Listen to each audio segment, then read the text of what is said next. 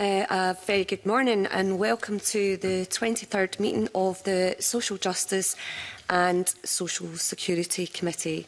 We have apologies from Paul O'Kane and James Dornan for today's meeting. Our first item of business for today is a decision to take agenda item 6 in private. Are we all agreed? Yes. Thank you. So our next item of business is the consideration of a Scottish statutory instrument, the Council Tax Reduction Scotland Amendment Number 2, Regulations 2023.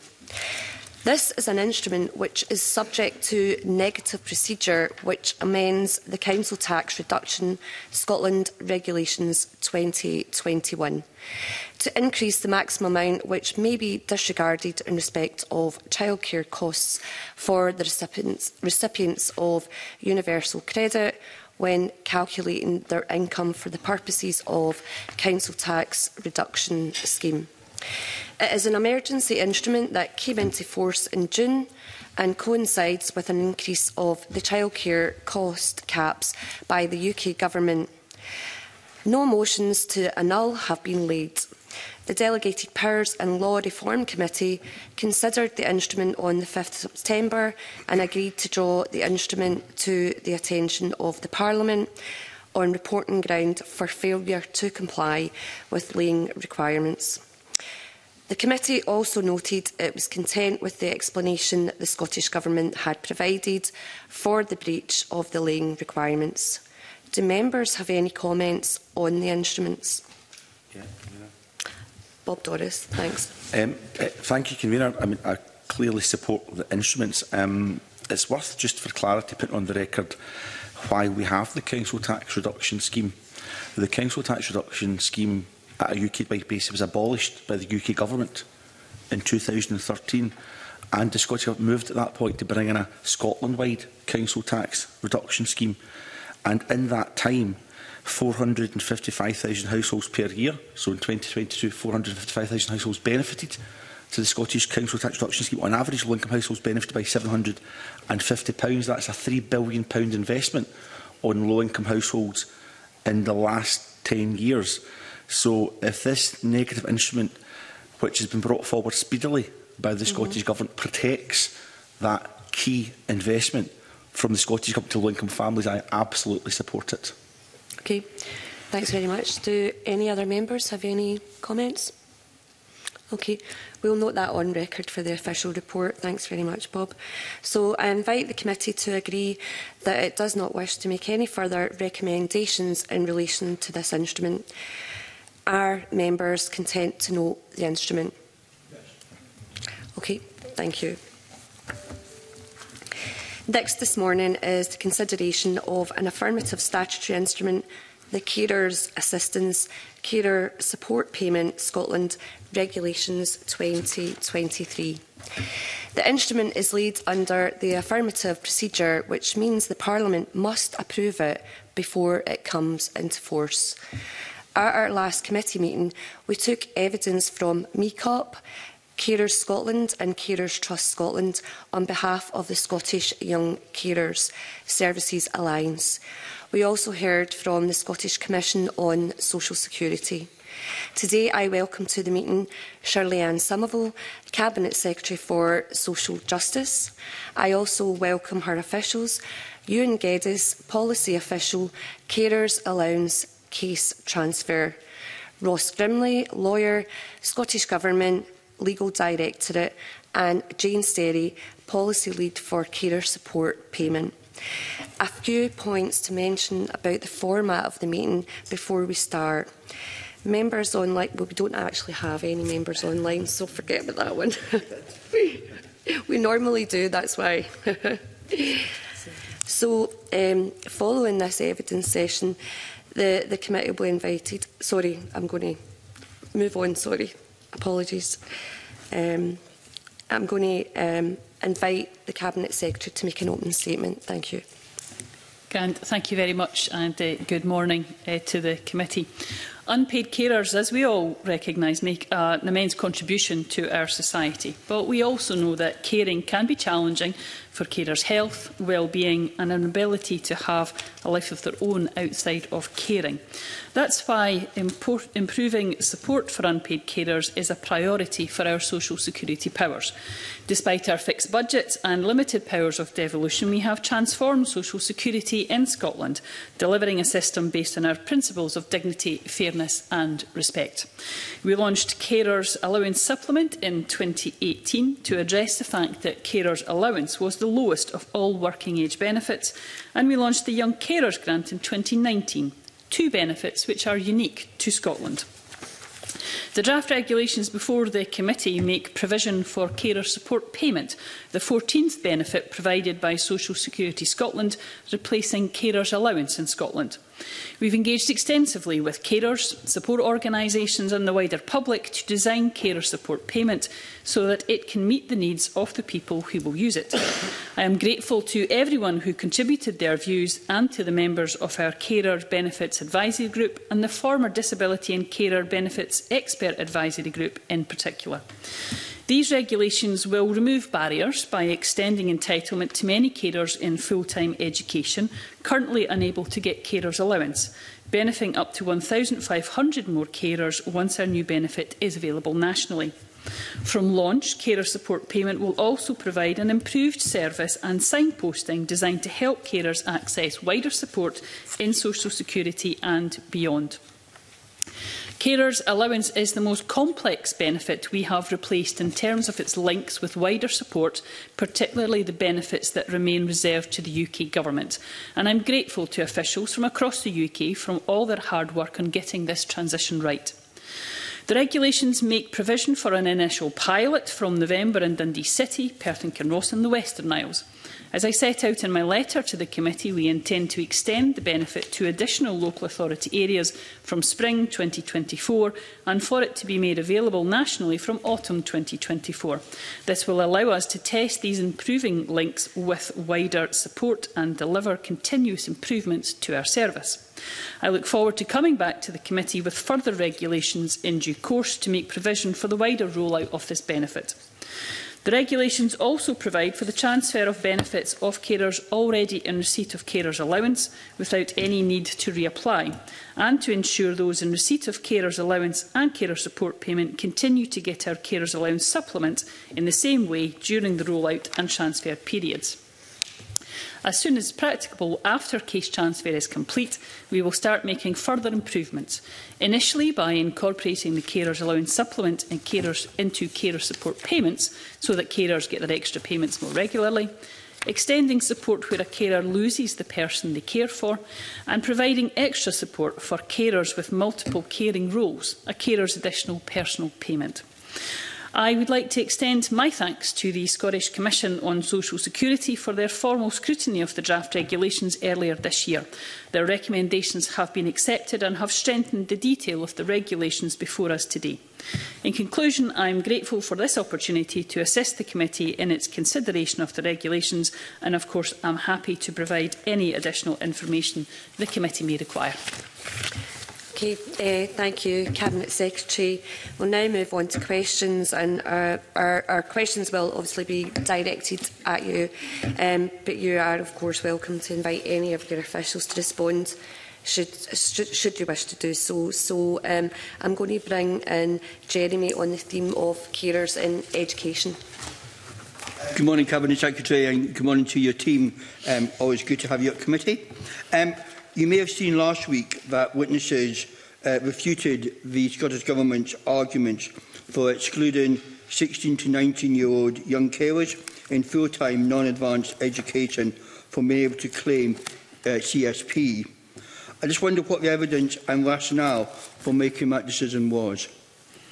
Uh, thank you. Uh, so I did listen very carefully to what was said um, yesterday because this is uh, an area where we want to ensure that we are supporting carers um, of all ages. Uh, the reason why uh, we have um, completed the regulations as they stand before committee today is based on uh, previous consultation work that we have done. So, for example, if we look to the concerns that we had from the feedback from the Disability and Carers Benefit Expert Advisory Group, they did stress the importance of ensuring financial support didn't inadvertently lead to some young carers finding themselves in unsuitable caring roles.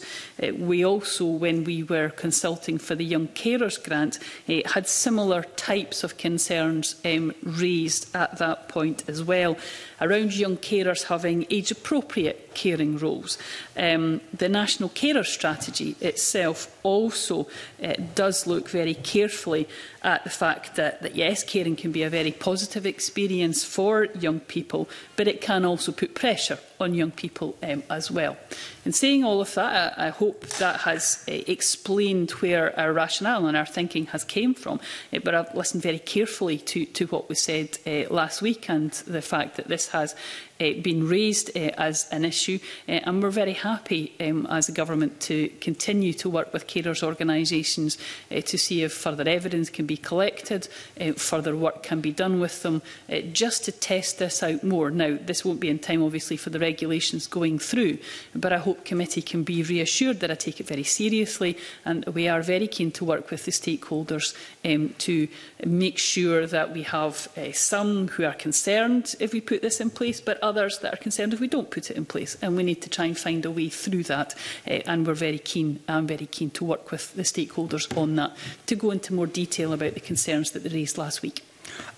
If I could just follow that up with two kind of brief supplementaries. I mean, obviously, absolutely right. You say that some caring isn't necessarily appropriate, age appropriate, but people are where people are. Mm. And sadly, some people the only choice they have is to use a, a son or a daughter to help them or a sibling to help that sibling and there's no one else to do it. So I, I do accept that we don't want to push people into it, but sometimes people are being pushed into it, but yet no longer going to get any financial assistance for that. And my other one is, are we then also not making a distinction between different types of education? You know, we're saying if you're in my education, you can have money, and if you're in that form of education you can't. And I'm just concerned that we are making a forced economy between different types of education rather than recognising further education, whatever way you go, is important. Mm. Uh, so, uh, uh, forgive me if I picked up Mr Balfour um, wrong on this, but I think he said they would no longer be getting support. My understanding is that these people would not be getting support under the current carers allowance yeah, yeah, sure, as well. So we're not taking yeah, away yeah, sure, from, from, from someone, just to, to be clear on that point. Uh, again, I recognise that we've had to look very carefully at the types of education, um, and there is, of course, um, already uh, support, different types of support that are there for uh, young people uh, who are in non-advanced education. So, for example, the education maintenance allowance, which is not available elsewhere in the UK, um, and other types of supports are very important um, as well. But as I say, I, I do recognise there are differing views on this. Uh, I do recognise uh, that uh, there are concerns about the fact, as Mr Balfour quite rightly says, that uh, this, we do need to look at age-appropriate care, but people may be in that situation um, and we need to be very careful about ensuring that we are not leaving people behind as we go through this. Uh, so I hope I've laid out the rationale about why we are uh, with the uh, where we are with the regulations as they speak, and absolutely the government's openness to continue to work with stakeholders, particularly in some of these areas where there are differing views and differing opinions about what government should do, and we need to find a way, try and find a way collectively through that. Thank you, Camilla. Okay. Thanks very much. I'm going to bring in Bob Doris now. Thanks. Uh, thanks, Convener. Um, this is not my substantive question, Cabinet Secretary, but I think the committee would find it quite helpful if you maybe get back to the committee with a much clearer definition of what full-time non-advanced education is as opposed to advanced education because I've read some definitions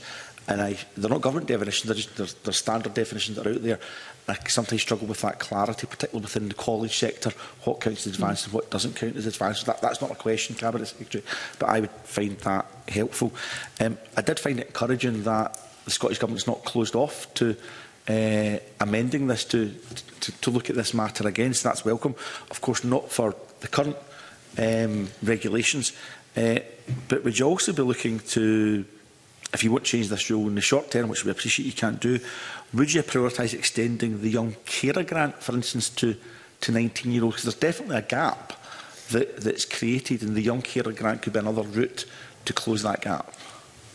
Thanks. Well, happy to provide that information um, as Mr Doris uh, requests uh, ar around this. Clearly, we'll need to make this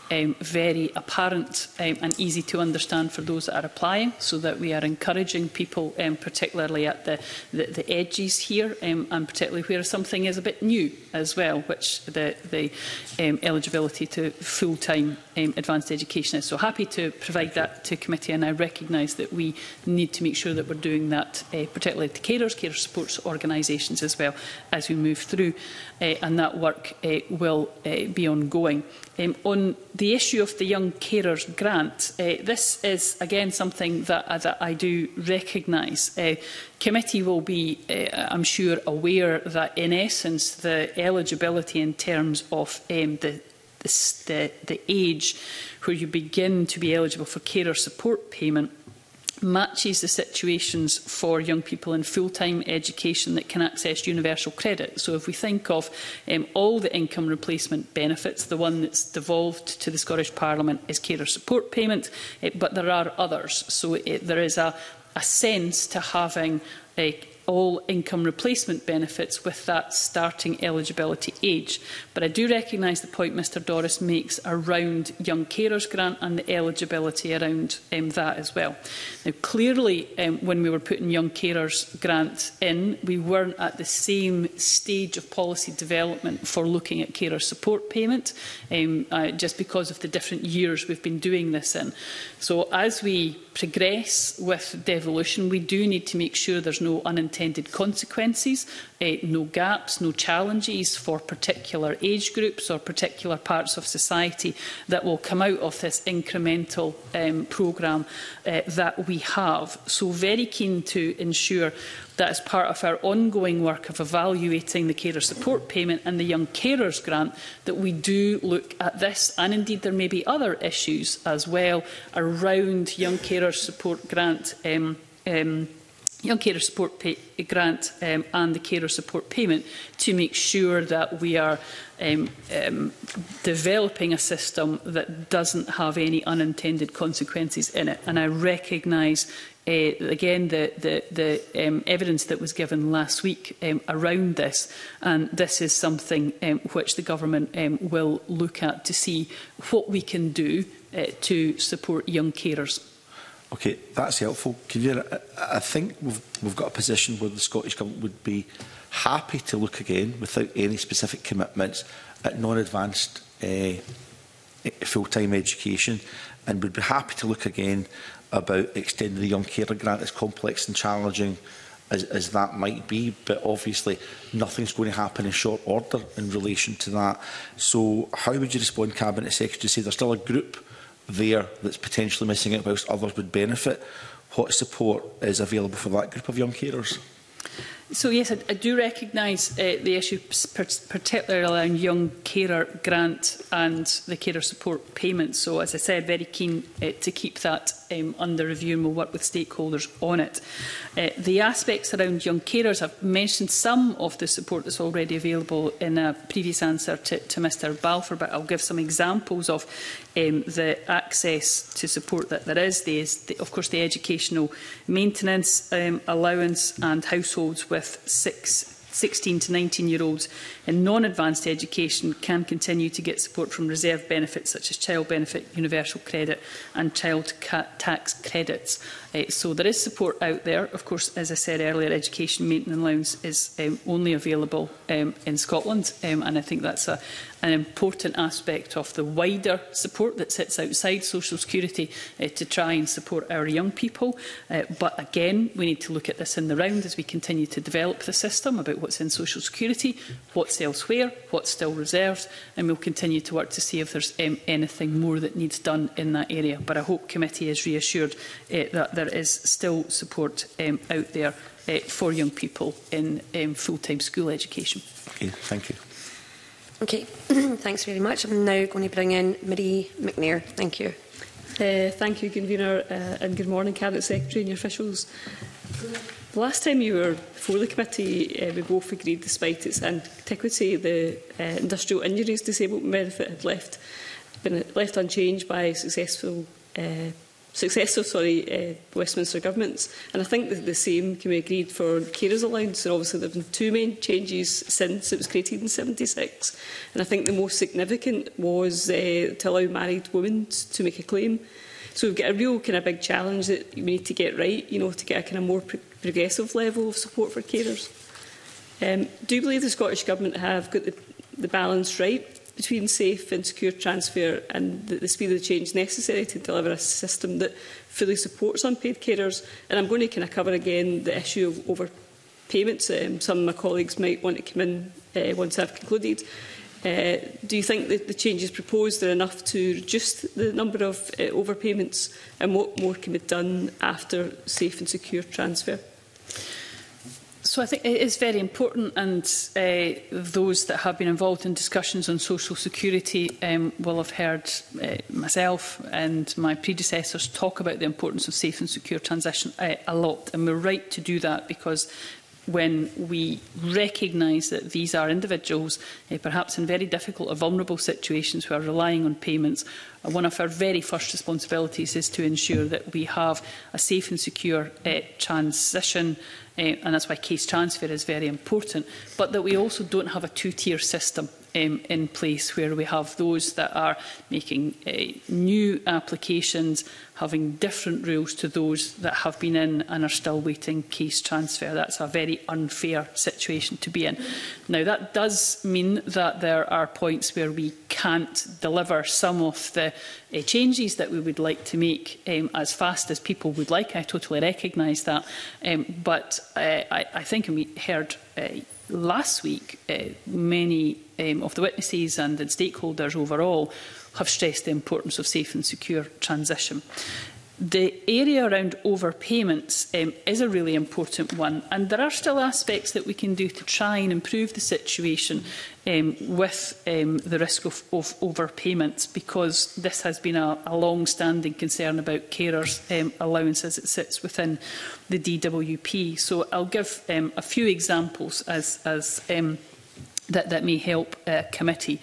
Uh, one of the areas um, which we are keen to do more of than is done currently by DWP is around averaging earnings to provide carers with more stable support uh, to ensure that um, if incomes go up, they go down, we can do that in a way where that is averaged um, over um, a period, and that will hopefully make it um, less likely that people will find themselves just out um, and, and um, out of the reach of eligibility because, for example, of a, a bonus or an overtime, etc. at particular times. So the averaging is very important.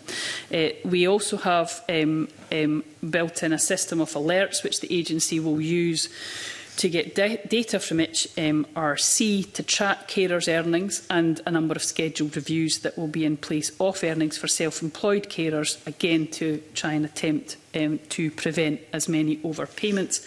And one, one more example, of a, a may, Convener, but this is, a, a, I know, an important area which um, committee took a lot of evidence on uh, last week is around um, the fact that we will um, pay carer support payment four weekly in arrears um, which is different to what happens um, uh, by DWP, um, where it's three weeks in arrears and one week in advance, and that can make it difficult sometimes again to uh, to make the analysis um, as as quite as tight as it needs to be under carers allowance. So those are some of the examples which we're still keeping to safe and secure transition, um, but for what we're looking at um, within carer support payment, I hope can still make a difference to people around the risk of overpayments.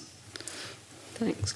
Um, I believe in a human rights-based approach to social security and I'm concerned there's no right to appeal in relation to overpayment uh, decisions. When will the Scottish Government change this and will you accept it's an important part of our social security system?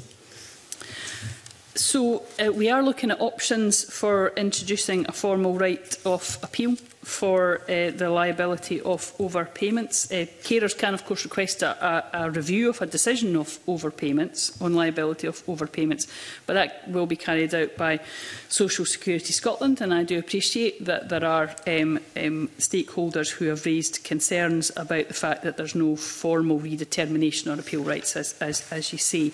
Uh, that um, is an issue that we need to look at, not just about carer support payment, but actually across all devolved benefits. Um, committee will be uh, aware that we've taken um, forward consultation as a, a government over um, overpayment liability.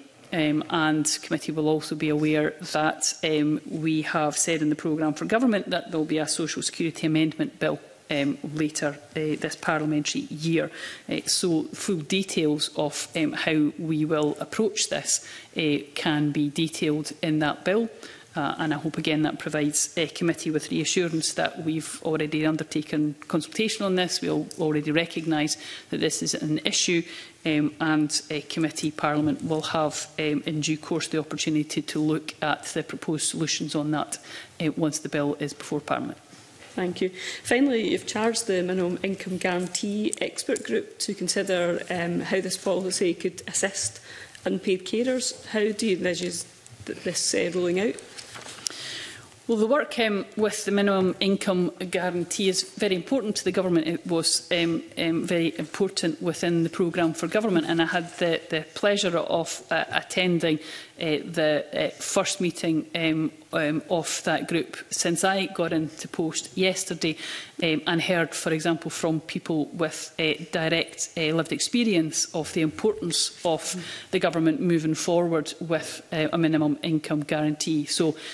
very keen to look at that. Um, the First Minister has um, asked that group to look at what can be done with carers. Of course, up to the group to decide its work plan, but I'm pleased to say that that was passed yesterday um, and um, there's a lot that could potentially actually be done um, in that. And I hope that uh, that the final report, when it comes out from the group, can give assistance not just for carers, um, but but overall on a minimum income guarantee, uh, but I, I, I think the government thinks that uh, a minimum income guarantee, uh, particularly around carers, would greatly assist them because we know there are, are, are challenges um, in this area. Uh, so very keen to look at that, uh, but obviously that uh, report and what is made of it is entirely up for that group, independent of, of government. Uh, obviously they've got an interim report at the moment, but they, they asked specifically around carers. It came in after that interim report was published.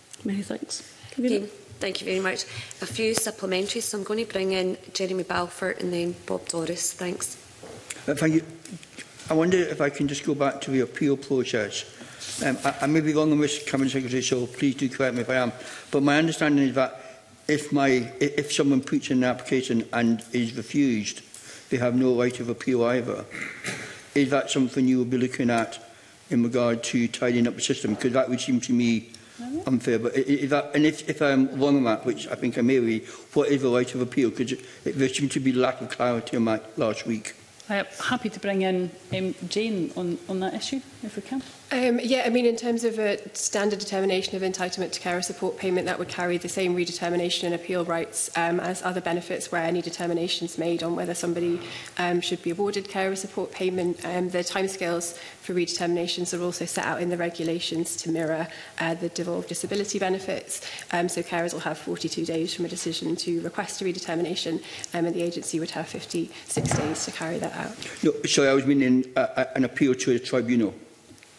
Yeah, um, uh, so in, in the same way um, as the devolved disability benefits following a redetermination, if the carer um, isn't happy with the decision that's been made,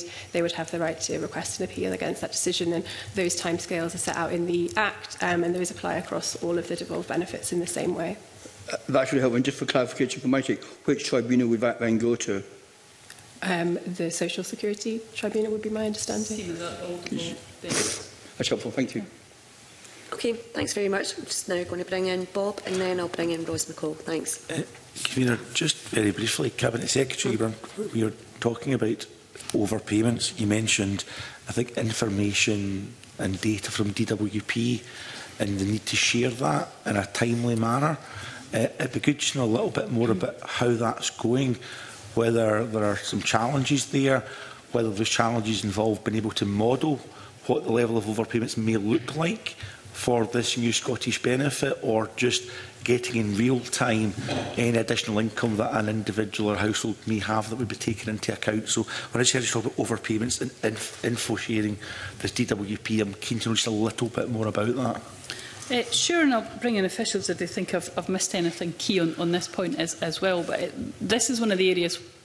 um, that, that really gets to why this is the most technically complex benefit to introduce.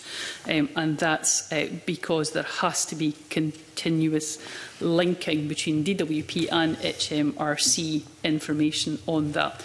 Uh, that's why the way that we're doing the rollout is so important, to make sure that we have a pilot to test those links, whether it's a, a manageable number of cases, and we move forward with the national rollout um, so that we and the DWP and HMRC can all test it, that uh, it's working effectively.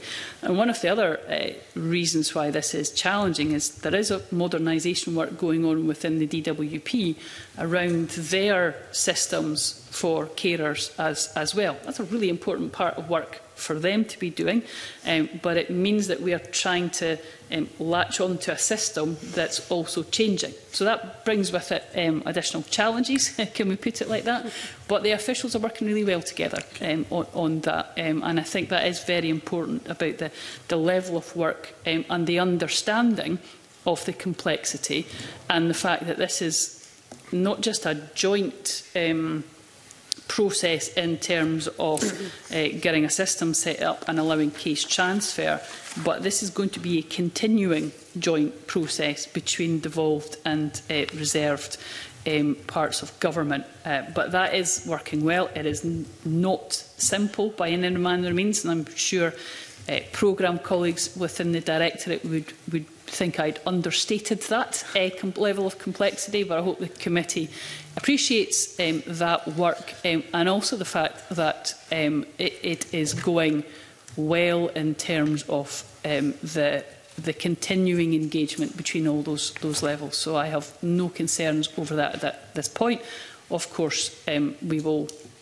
have to keep up that level of engagement as we move to systems going live and actually testing them with um, data. But that's why we're taking the um, I think, rightly cautious approach to how we're rolling out with pilots, just as we did with CDP and ADP.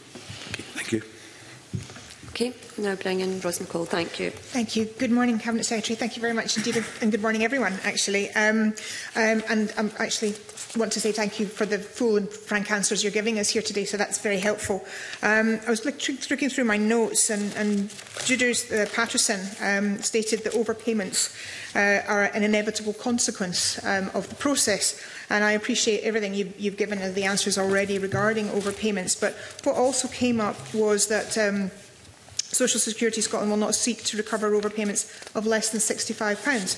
So What's the Scottish Government's response to views that that should be set higher? And how are we going to monitor any possible overspends or any budget concerns that may come from that if we do look at any variances on the £65? Yeah, and again, a, a very important point for, for the agency and for, for government to, to, to look at um, on this. Um, overpayments um, are an inevitability of the system as it stands at the moment because it is exceptionally complex. Now, um, in the future, uh, government may, um, I, I'm sure, wish to look at how we can simplify some of these processes, uh, but that is for the to, uh, not for the short term. We need to get the case transfer right, and we need to make sure that we have um, a system that's delivered on some of the priorities I've already uh, mentioned. Um, in the meantime, um, where there are um, overpayments, um, I do recognise that there is a concern from stakeholders um, about that level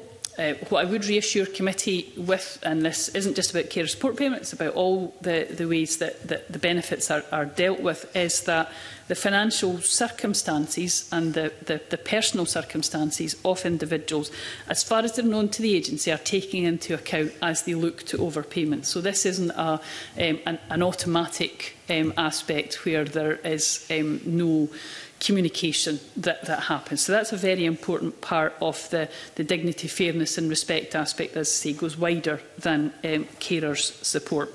Uh, the £65 is in line with the current DWP level, and that's based on the costs of overpayment recovery.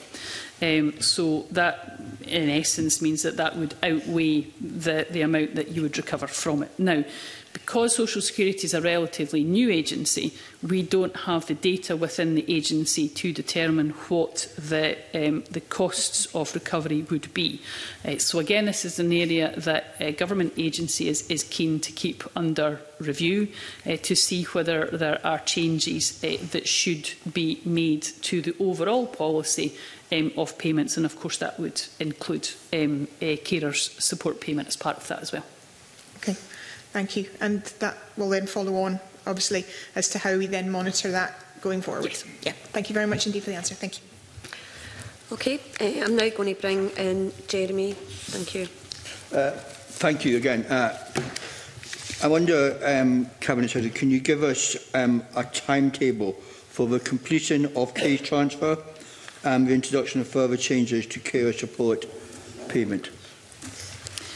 Uh, so the agency agreement that we have with the DWP runs out in March 2025 um, and uh, we have uh, no concerns over that time frame at the moment. So obviously the case transfer um, begins um, a few months after our pilot um, and the level of cases that we do by case transfer will, will grow incrementally. So we'll start small again to ensure that we're testing everything out, to make sure there's no uh, concerns um, or anything about that transfer that is, that is um, uh, making it um, difficult for carers themselves. Uh, the aspect around the transfers um, will all carers will have started the transfer journey by the end of 2024 and completed that transfer by that March 2025 um, date. So, um, in essence, we, we start not long after the pilots. We'll begin to scale that up after testing that process, um, and all carers will have had notification about case transfer by the end of 2024. And just in your discussions with Social Security Scotland, Um, obviously, there have been some delays on other areas. Are, are they confident they have enough staff to be able to meet that target? So the aspects around workforce is clearly looked at very carefully by Social Security uh, Scotland uh, to make sure that the staff are in place. Uh, one of the aspects um, that is uh, you know, different for every benefit, but there are lessons to learn is how that case transfer process works. Uh, carer support payment uh, is more complex, uh, but that's again exactly why we start off with small levels of case transfer, we test that out and we make sure that the assumptions that are being made around workforce are correct and then the agency can, can flex if models have, for whatever reason, incorrect or we've got something out of kilter on workforce. So yes, at this stage, very confident about that, um, but again, because of the way we're doing this, uh, there is the ability of the agency to flex should it require. Thank you. Thank you. Okay, I'm um, now going to bring in Katie Clark. Thank you. Thank you and good morning. Um, last week, uh, Paul Trainer suggested that addressing underlying entitlement was quite low down that priority list. What is the Scottish Government's approach to this issue, so to the issue of underlying entitlement? So this, again, um, is a very important issue which I, I recognise has, has been um, raised uh, by carers um, and comes under the, the, the kind of catch-all of, of the fact that uh, carers allowance carer support payment is an income replacement benefit and so is the state pension. So we have a, a number of, of um, benefits uh, that are effectively uh, seen to be there in essence for the same purpose, an income replacement benefit. Uh, but you, it is still important for people to apply for carers uh, support payments um, um, even if it's to just have that underlying entitlement because mm -hmm. it is a gateway to allow them to access uh, other support um, some of that obviously still uh, reserved. Um, so we will be very keen to move forward with encouraging and doing more to encourage people who would have underlined entitlement to move forward with um, an application so that they can access uh, that other uh, support that is uh, out there. Uh, the aspects also around uh, carers' support payment um, being in effect uh, extended to those that um, are already uh, receiving some other income replacement benefit. I do recognise uh, that that has uh, been a call. Uh, what I would say to that is that that is a, a major change uh, that would be undertaken and as committee is aware a, there's no major change that in social security doesn't come with a, a, a hefty investment required in that as well. So, but give a, an example for context, there's around about 80,000 uh, eh, people who are um, eligible and who get a carer's uh, allowance payment. Uh, there's another 40,000 who just have underlying entitlement. So if the ask is for all of those people to also uh, get a carer support payment, that's a significant investment that would need to be undertaken. So I do recognise um, the fact that that is a call that is asked for. But of course, changes like that would need to be undertaken after case transfer um, and clearly uh, when uh, government Parliament, stakeholders have all had a very open discussion about the affordability and sustainability of that, particularly when uh, there are a number of calls which people are quite understandably asking to be made after case transfer is complete. So I hope that gives the context uh, about the scale of what it would mean to, to, to make that uh, change. I think you have explained the context very fully, but do you think the comment that it's quite low down the priority list is fair? Is that, is that accurate? No, I think what we've tried to do is, is do what we can uh, within the system while case transfers are ongoing. and give some of those examples. I've given the examples of what we intend to do Um, once case transfer is complete, those are the, the, the priorities about uh, additional payment for pay, uh, caring for more than one person, etc. Uh, there are a number of calls that have been made on government around carers' uh, support payment changes. Um, and we just do have to look at those, as we do with all aspects, is that um, We can't do them all at once. We certainly can't do them before case transfer. And for the significant ones, they come with a significant cost attached. So we will have to look at it as government, as parliament, when we're looking at any changes about how those aspects can, can be funded. So uh, I totally recognise that as a priority for uh, people, uh, for us to look at, um, and there's calls to that. Um, and I, I know they're aware it doesn't come without a significant cost as well. So it's not that it's a low priority, but we just need to make sure that we're doing what we can in the short term It's uh, eh, fulfilling the priorities that we've laid out for after case transfer. And then, of course, we'll have to keep up a discussion about the other aspects, this only being but one of them, that people would like us to bring in that are additional to what's already um, been proposed by the government. Mm -hmm. and, and the Scottish Government has consulted on increasing the earnings threshold. Why is this not one of the priority policies for change after safe and secure transfer? Uh, so uh, again, this is one of the areas, yes, that can't be done um, until after uh, case uh, transfer. Um, I've given details um, earlier, so for the sake of time, I won't go through them again, about how we're trying to get better at ensuring that we're looking at average um, earnings.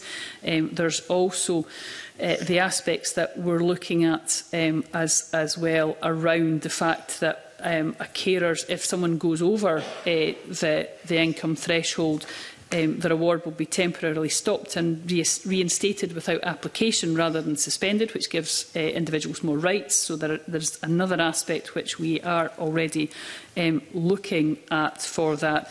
The actual earnings threshold for carer support payment um, will have to align with the carers allowance until transfers um, is complete.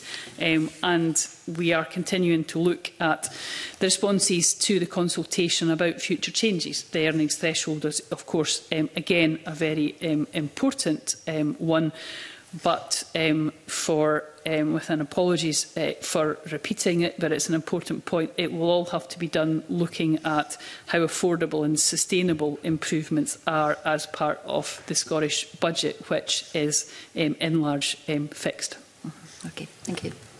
Okay, thanks very much. I'm um, now going to bring in Rose. Thank you. Uh, thank you. Uh, Cabinet Secretary, I'm going to go back right to the beginning where you alluded to um, trying to make the process as easy as possible, especially when it came to young carers and, and filling in, in that process. But of course, that then follows us on to um, how, how can we make sure that the process is available and clear for all carers uh, and it's accessible um, for information for, for, to apply for care support payment, especially when English is not the first language And you know, how do we ensure that this is um, as smooth and as simple a process as possible to, to reduce the amount of stress on carers when they're going through this process?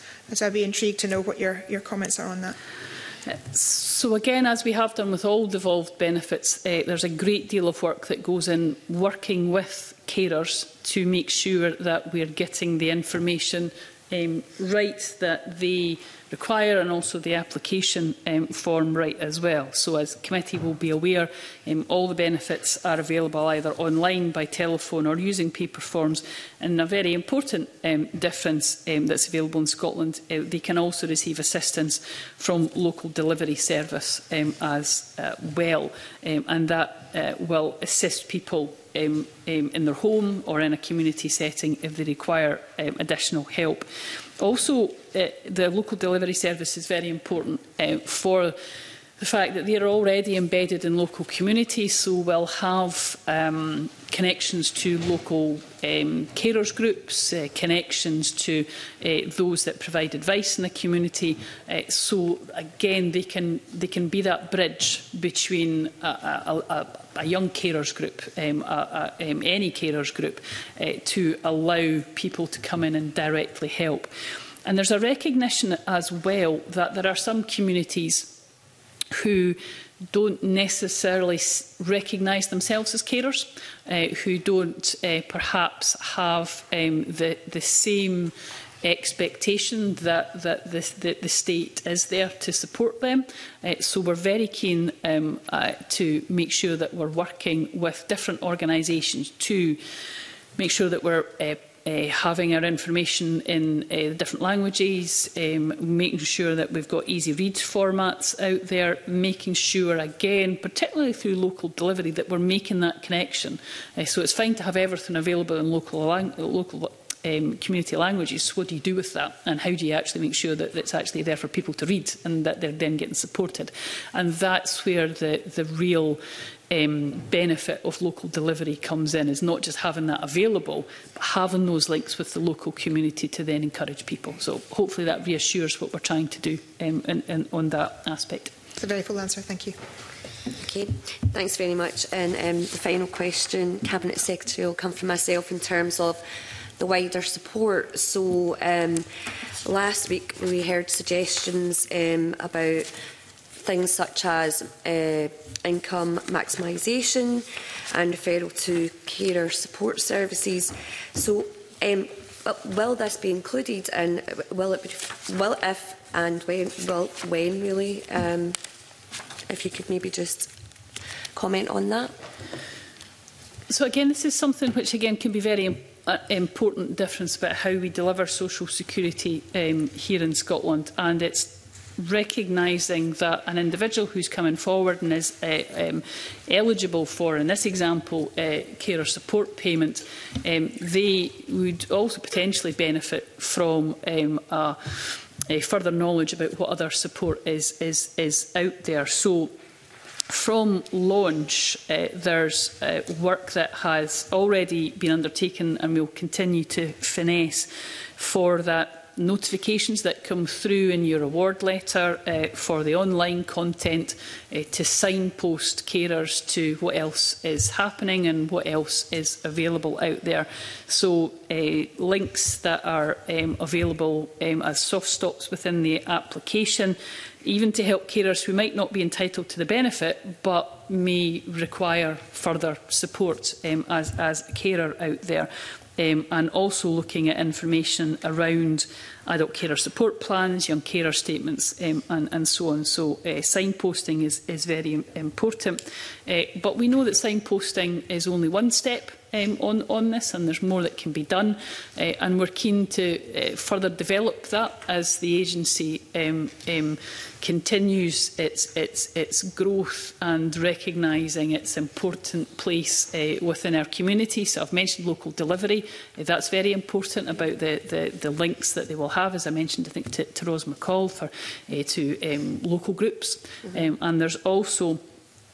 the aspect about continuing to learn. So uh, continuing that national stakeholder engagement with carers um, um, stakeholder groups uh, with the agency to continuously check about seeing if we're getting that right and if there's more that can be done. Now, yes, that's a kind of, it's an added task on the agency that isn't done um, within the DWP setting. So that is a, a, an additional ask on social security staff. But I think it's an important one because we need to see the carer um, as an individual rather than an application form.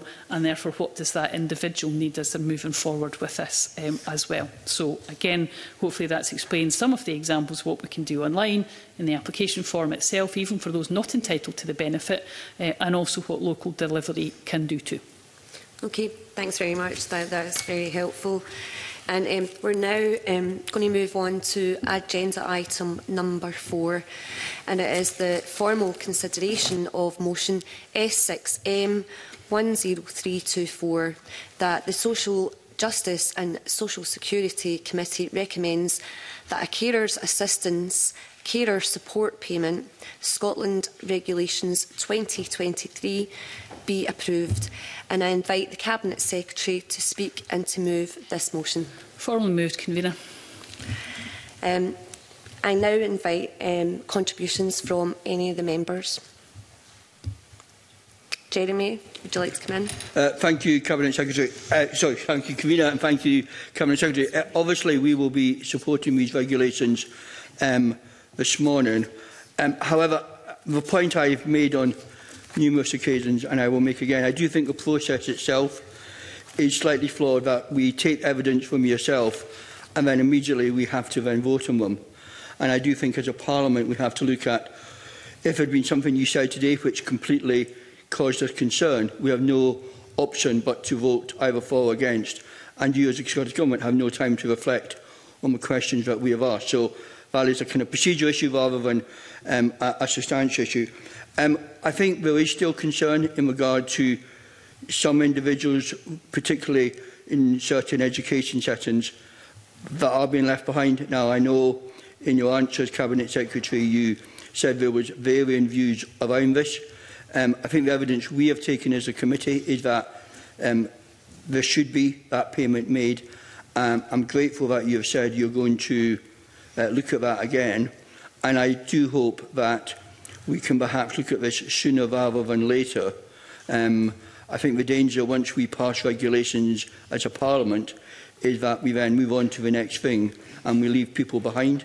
So I do hope that you will take what we've heard and what you've heard seriously and that some amended regulations could be brought forward um, within this parliamentary term. Um, and I'd be interested to know, is that the timescale that you are looking at if you were to bring forward changes. And I, I also look forward to seeing the um, proposals in your bill um, later this year as well, which will, I think, deal with the overpayment issue and the right of appeal on that, which again we have taken evidence on. I think we all recognise, um, and as someone who benefits from unpaid care, the massive role that unpaid carers do play in our society. Often these individuals wouldn't necessarily want to do it, but are put in a position that they have to do it because of their family situation, geographically, or just how the family is made up. And so I welcome what we are doing here um, as a parliament. I, I think it will make a difference to individual lives.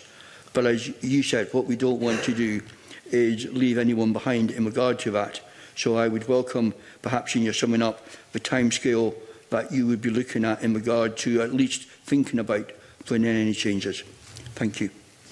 Thanks, Jeremy. I'm um, now going to bring in Bob Boris. Uh, thank you, Convener. Um, I think this just gives me the opportunity, Convener, to say that clearly these regulations will put more money into the pockets of more unpaid carers in Scotland than ever before, and it will provide additional service and support.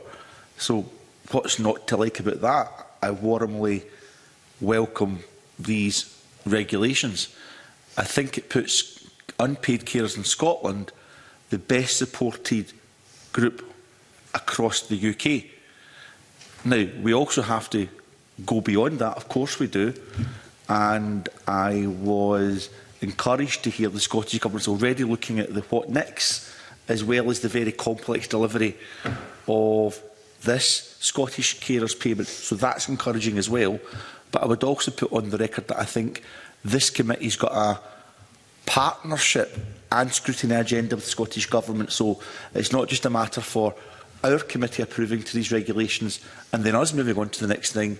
I think we should also be following through the success of the pilot and the full rollout and returning to this as a committee. So I warmly welcome this. It's the right thing to do. It's a good news story for Scotland, but there's still so much more to do. And I agree with Mr Balfour that we're not going to shirk away from scrutiny of this as it rolls out, the pilot rolls out, and we embed this new payment in Scotland. Okay, thanks, Bob. Has any other member got any comments or contributions? Okay, thanks very much. I'm now going to invite the Cabinet Secretary to sum up um, and respond to the debate.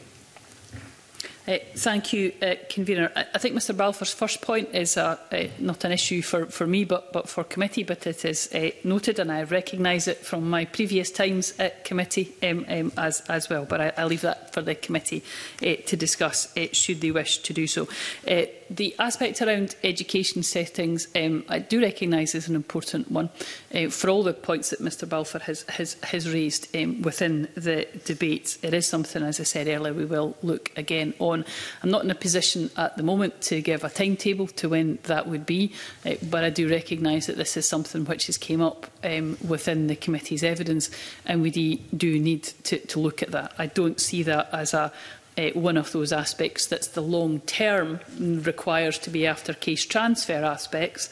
Um, so hopefully that gives a, a, a, a kind of eh, a rough timetable for it uh, without giving promises which uh, I can't keep because it's not just about uh, consultation with stakeholders, it's also the requirement for us to look at what requirements that would need to be made uh, what changes would need to be made within the agency's programme and processes um, and uh, what would have to be done uh, to ensure that the system would be able to take care of any changes should we brought them forward. So as Mr Balfour is, is well aware, none of these things are simple um, and none of these things when it comes to a change in processing can be done um, by any means overnight but I hope that gives him a reassurance that it is something uh, I intend to, to look at in, in, in due course.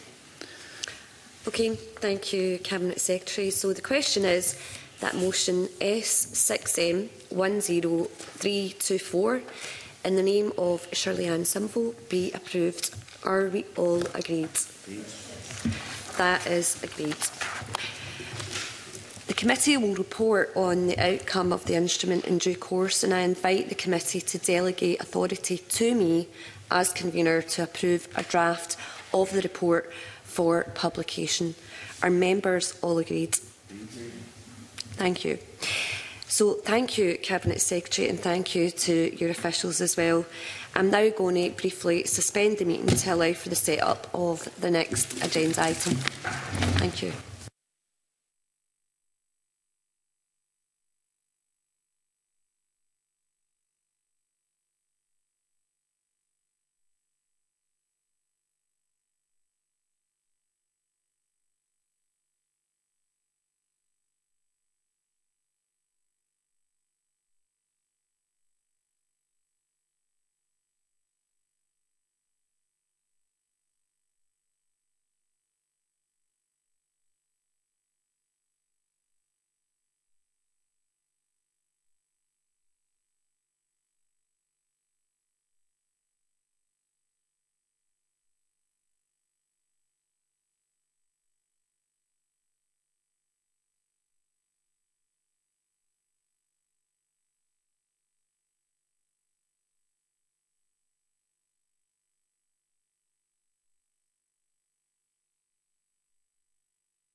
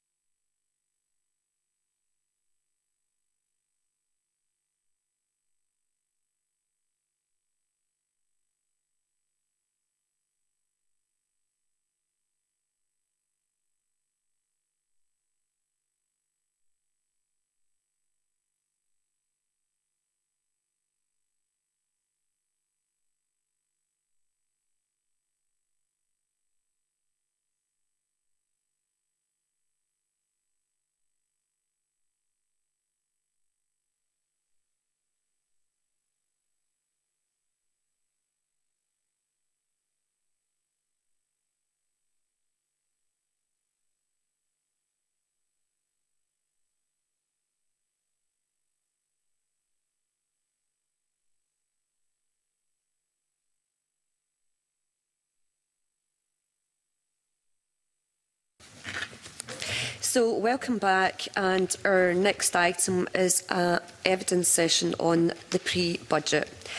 So last week we discussed budget priorities in general terms and explored the context for decision making on the Scottish budget.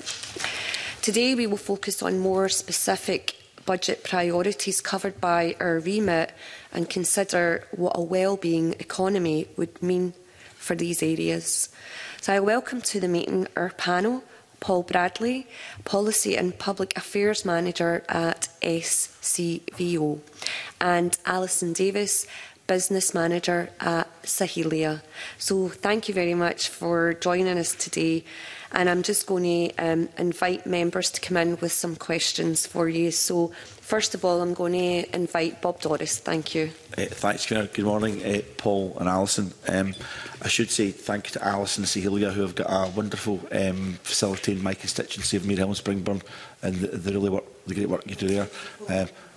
uh, um, no, I just, uh, eh, Mr Balfour would like to put these things on the record.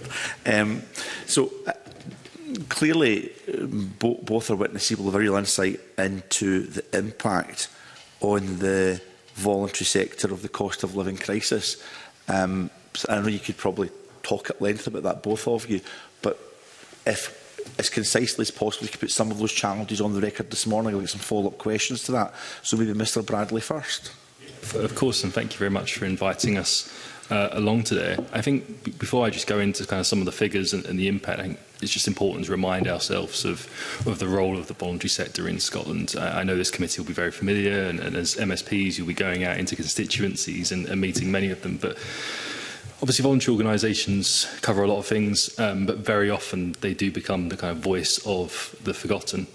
you know, people who are less able to act and but most impacted by the decisions that this Parliament and, and, and the Scottish Government takes. Um, and they really are at the heart of our communities, whether it's you know, delivering things like community care or employability programs, you know, overseeing, maintaining programs for village halls and museums, galleries, that staff and volunteers are really kind of going beyond at uh, this moment in time, even when they themselves are really facing some significant challenges with their own kind of cost of living uh, crisis. And that's further exacerbated by the funding challenges that you'll hear from me about today. I think that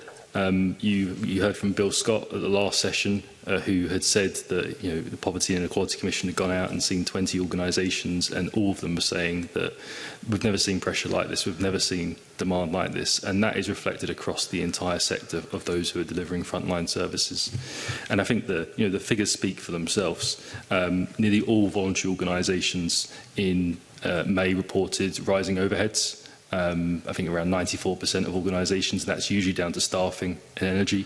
Um, 71% of organisations in May said they were experiencing financial challenges, and that was up from I think 67% in at the time of the last Scottish budget. So things have things have worsened, um, and half of those that have said rising costs are having an impact on you know, their finances um, have said that that's actually having an impact on their ability to deliver their core activities and services, um, and that's a real issue um, across the board. And I think also if you look at sector finances just now, um, you know, we've, we've had um, you know, the pandemic, we've now got the cost of living crisis. You'll hear from me today around kind of years of underfunding and poor funding practices. One third of organisations reported in May that they are now using their reserves to top up services and pay staff um, decent wages. And half of those that are doing that say that the usage is unsustainable. And that isn't a surprise given that I think around 60% of organisations, 60% of charities in Scotland have less than six months reserves.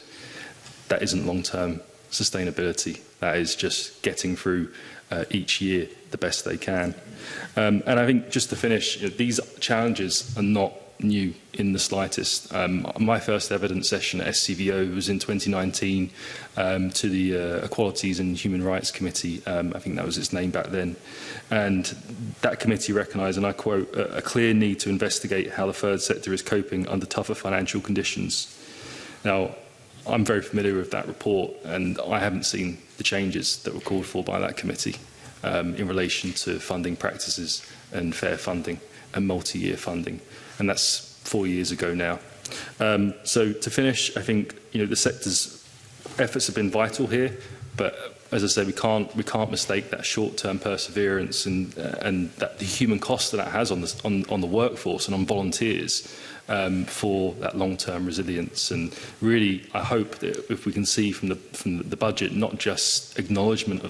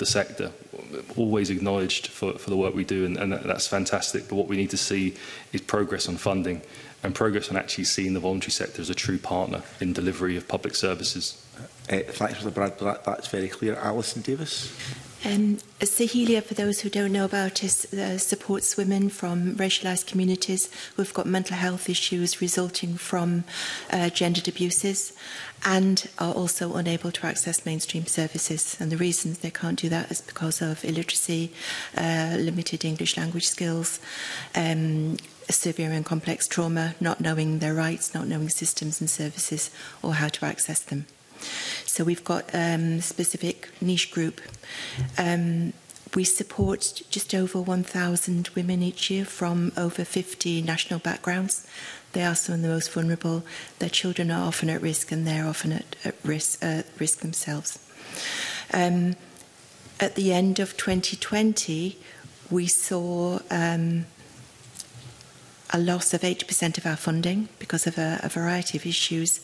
Um, Brexit, which meant we lost very large uh, European Social Fund and European Regional Development Fund um, monies, and also because of contracting on a competitive level with very large mainstream organisations. Um, we thought that was fine because we could uh, rely on income generated from our Edinburgh childcare, which is burge or was burgeoning, and then of course COVID hit and COVID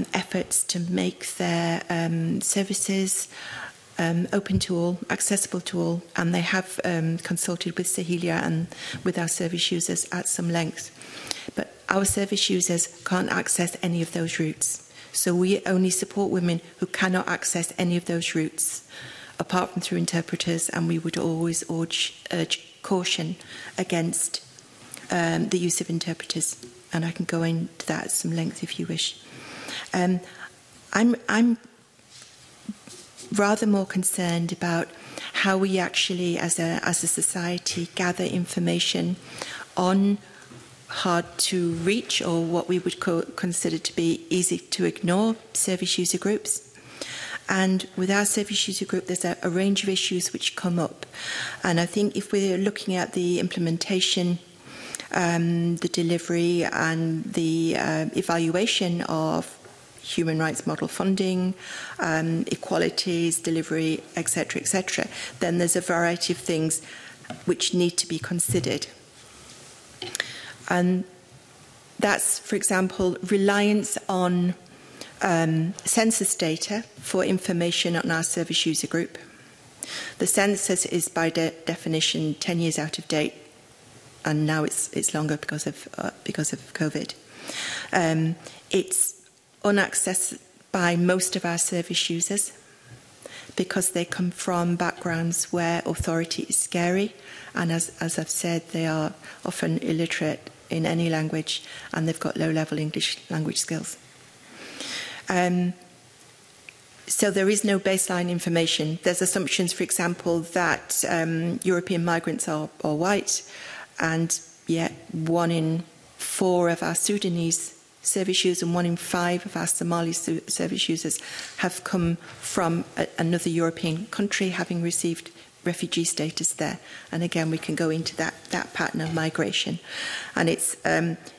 it's really important having Sahelia there because we can pick up on these um, anomalies, we can pick up on routes of migration and, and um, needs, etc., which other organisations by de definition can't because of the way that we operate and we're funded. And What's particularly special about us is that we are generally under the radar. We don't advertise what we do. Um, and we have a gendered analysis of our approach to supporting um, New Scots communities and racialized communities. Um, so if, if the only route um, to reaching these very vulnerable women who have already got severe mental health issues, whose children have got um, severe co and complex trauma, vicarious or direct trauma, with huge repercussions for long-term educational outcomes and employability, etc., etc.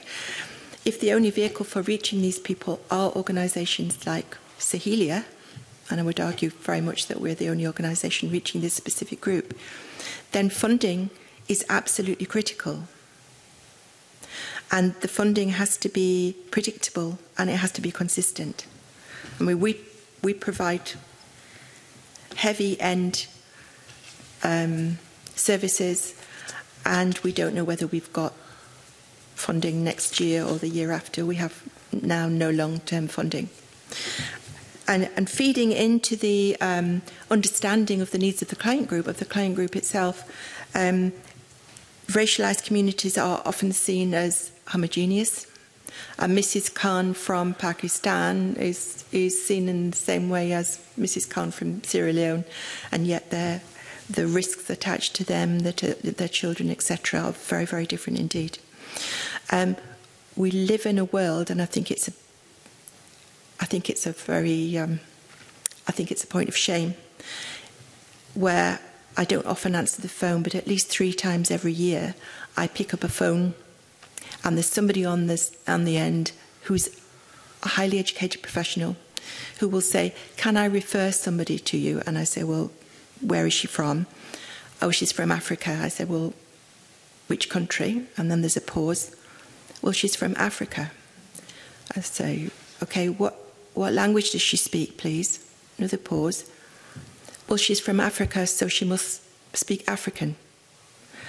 I said, well, help me here because there's 700 languages in Nigeria.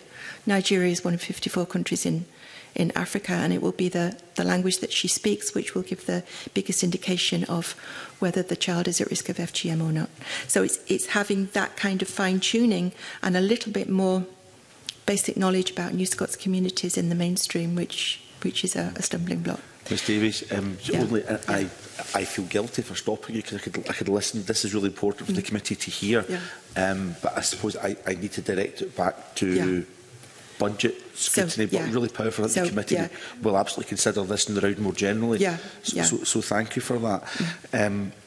I suppose because it is budget scrutiny, mm. both witnesses made it clear the absolute challenges and mm. financial pressures on the ground and the lack of certainty. Mm. So the Scottish Government's got some budget decisions to make.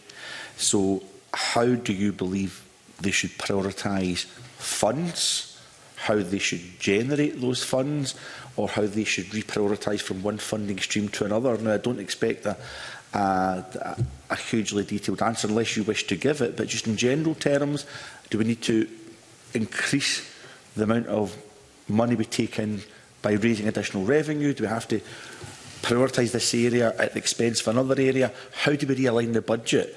to deal with these real cost pressures that affecting the voluntary sector and your clients? Maybe Mr Bradley first.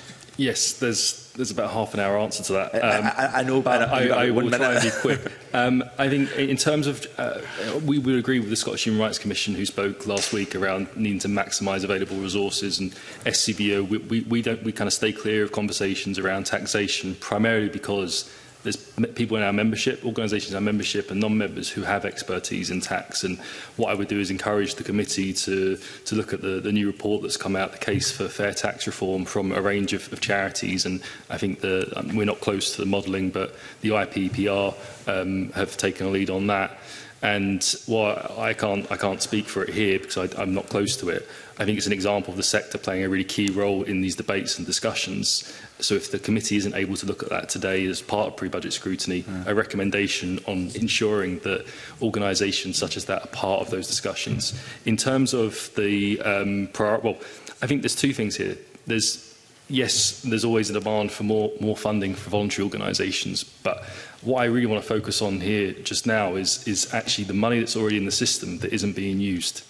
that's sitting there that's being, you know, uh, we, we know organisations um, that um, are still waiting for their funding um, five months into the new financial year and have received no communication from the Scottish Government. And there's a lot of talk about you know, lack of finances and, and um, no money available and, and challenges around that, and we, we fully understand that. But it has to be a real concern then to this committee, to Parliament, to the Scottish Cabinet, that there is funding sitting there, money sitting there that isn't going to organisations at the time it should be. So that can, has an impact can I just services. check, Mr Bradley, and I, I, I know I need to be brief because time really is moving on. Yeah. I think the committee would relate a distinction between money that's been allocated but not provided to that organisation mm -hmm. or money that's sitting there unallocated because those, those, those, those are two separate things. So if you could address that and then I'll bring Ms Davis in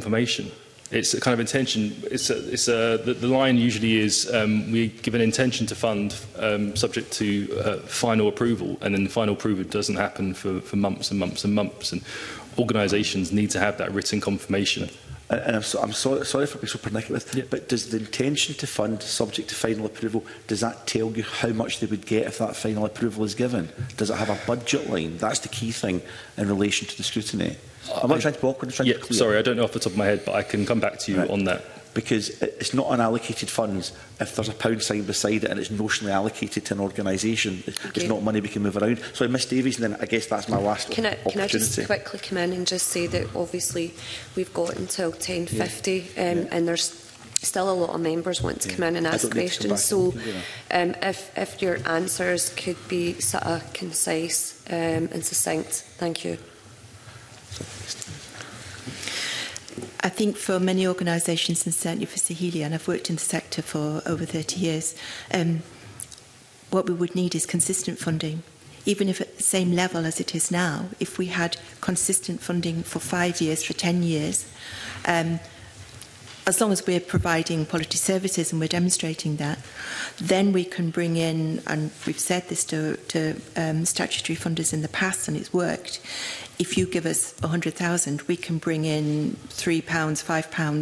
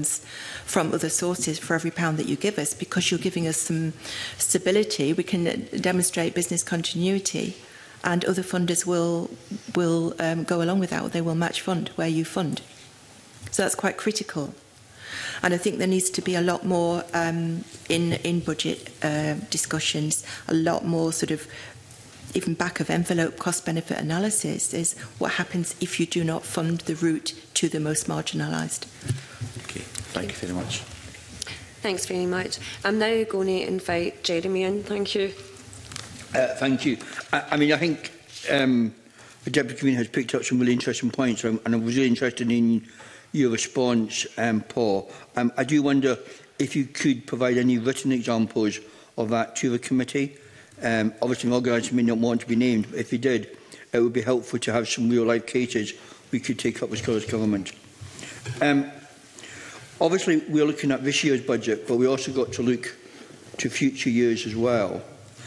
Um, the Scottish Fiscal Commission has highlighted that there is going to be a fairly major gap within this budget within the next two to three years, with over a billion pounds there. I wonder, I know you don't talk about taxation, but I wonder in a more general terminology um, where you think we would be going in regard to how do we bridge that gap? And have you any views or do your members have any views around that? Well, as I said, on kind of revenue raising, um, the sector definitely does have a view on that. And again, kind of repeat the, that report to, to scrutinise and to, I can share a copy of that paper um, if that's useful after this session. Um, I think we, we, we're fully aware of the kind of tough financial challenges that the Scottish Government faces and particularly, as you say, the kind of looming deficit um, in I think 27, 28. Um, there, there is that revenue generation part of it, but it's also about how do you get the most out of the money that's already in the system. And we, kind of, we welcome the Scottish Government's commitment to um, public service reform. That's come up in the programme for government again.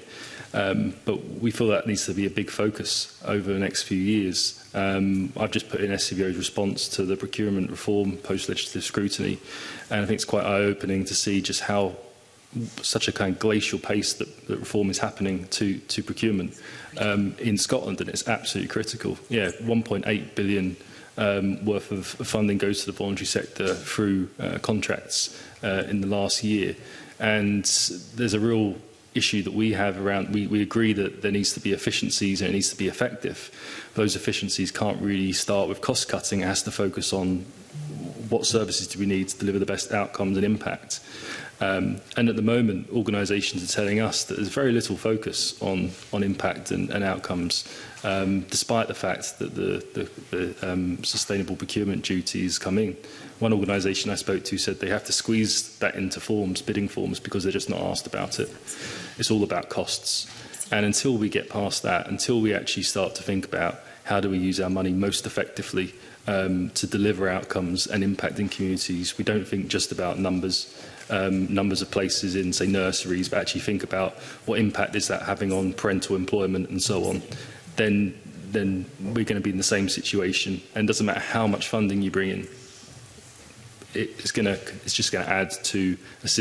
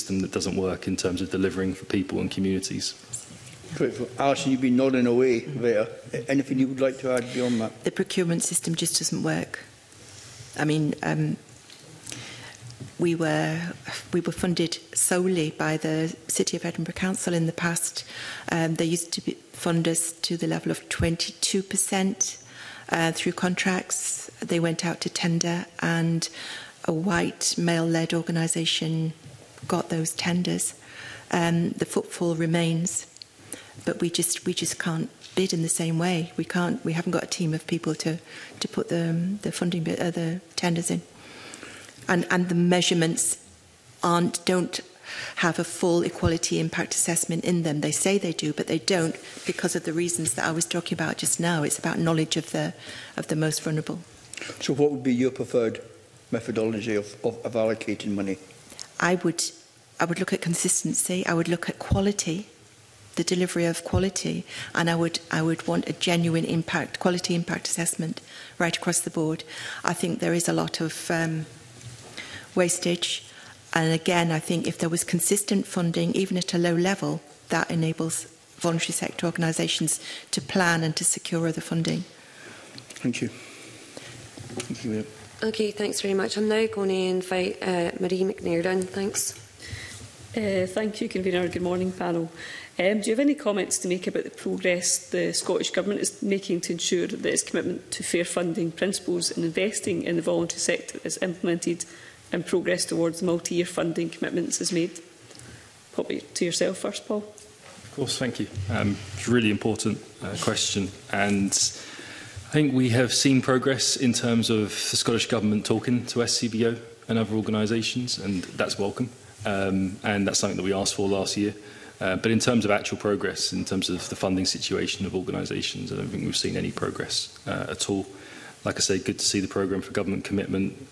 Um, we're starting to hear fairer funding um, used across the Scottish Government um, a lot more.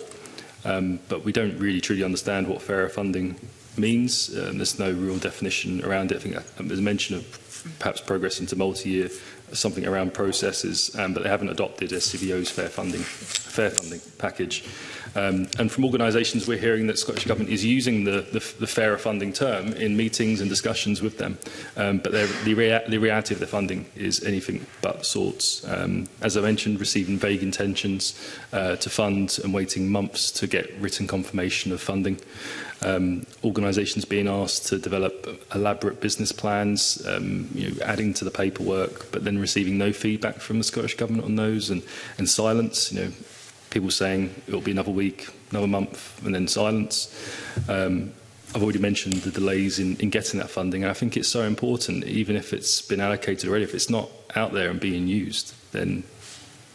there's people not being supported.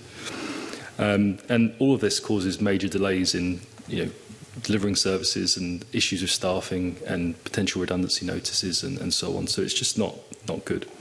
Um, the, the, the programme for government uh, is committed to develop a, a plan and we called for milestones to be transparent because we need to hold the Scottish Government to account on this. This is something that, you know, I, I think it was the convener of the Finance Committee who said that a similar committee to this back in 1999 to 2003 published a report with similar issues and we're still having these discussions. Um, but I think that progress should have happened,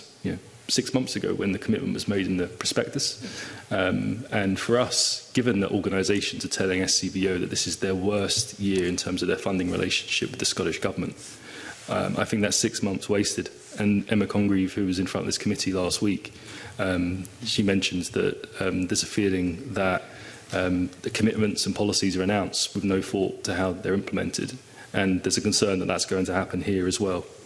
Um, there is some work going on um, in terms of using things like the, the, uh, Community Capacity uh, Resilience Funds to test two-year funding um, and some, some changes to kind of funding criteria. Um, but that's, that's kind of scratching the surface. Um, and what I would say, though, is that we've re-welcomed the positive engagement with the Cabinet Secretary, um, really frank and honest conversations about the challenges. Many of the issues that have been talking about They aren't necessarily political issues, they are operational issues. Um, and we've welcomed meetings just recently with uh, senior government officials about those issues, and, and a commitment is there to work with us and have dialogue around those, and that is welcome. Um, but what I would say is that those operational issues have an impact on policy delivery. If, if the money isn't reaching organisations or organisations aren't certain about the funding they're going to get for the year ahead, then they aren't able to plan and they aren't able to deliver the services that they would want to. Um, there's also issues, as we know, inflationary uplift is something that SCBO have been calling for, particularly in terms of support for the living wage. There's new conditionality that's coming. Um, that conditionality is, is super important to be paying the real living wage, but there isn't the funding to resource it. Um, so I think there's lots of issues there that need to be looked at. And what we want to see this year is timely communication and payments would make a huge difference for this upcoming funding year and I don't think is a huge cost to, to the Scottish Government. The thing we would like to also see is the Scottish Government do more around testing um, implementation of multi-year across kind of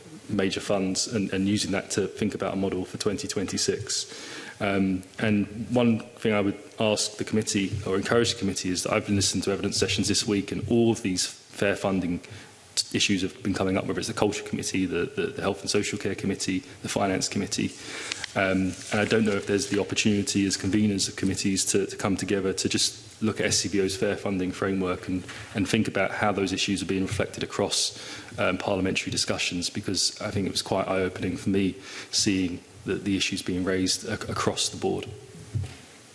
Thanks for that. Alison, do you have anything else to add? Well, multi, multi-year uh, funding is critical. I think it does need to be linked to quality outcomes, um, but it needs to happen now because the situation is so critical. Thanks. Um, really sorry that you're experiencing those issues, and certainly as a committee, we will feed that back to the Scottish Government. Yep, thanks very much. Um, just touching upon um, funding and how it's actually allocated. Obviously, reducing child poverty is a priority mm. of the Scottish Government. So how does the funding of the voluntary sector support tackling child poverty? And does this uh, have any implications at all for how funding is actually allocated within your own budget? So I'm going to bring Alison in on this. Hmm. It, it's massive. Um, again, the Cabinet Secretary was talking about um, the accessibility of processes and so forth. It takes at least four hours to apply for universal credit with somebody. So it takes a member of staff four hours doing that at least. Any any form online will take about four hours. Um, so the resource implications for that are massive.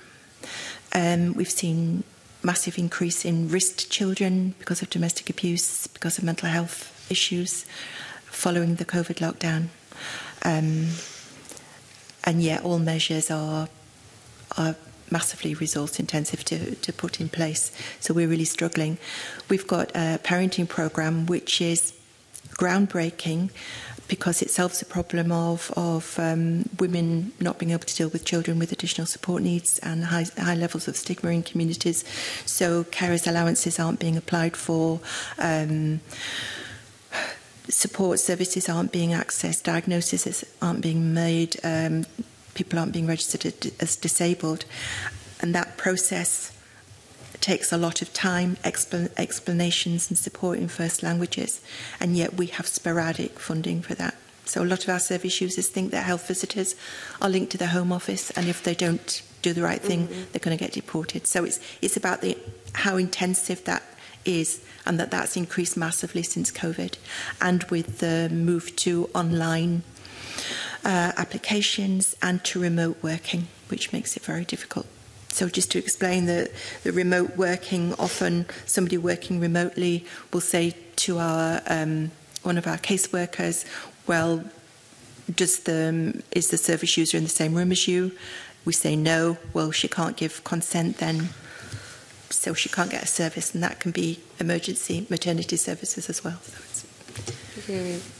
thanks, Alison.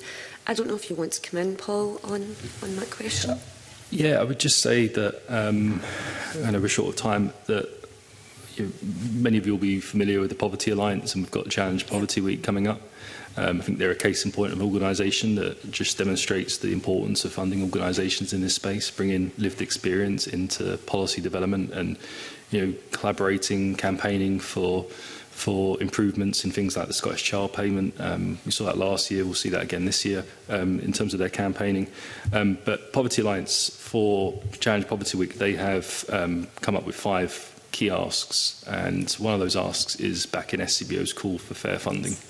Um, they recognised their members ahead of the anti-poverty summit that the First Minister held wanted fair funding to be a key item on the agenda, and I think that it you know, it reflects what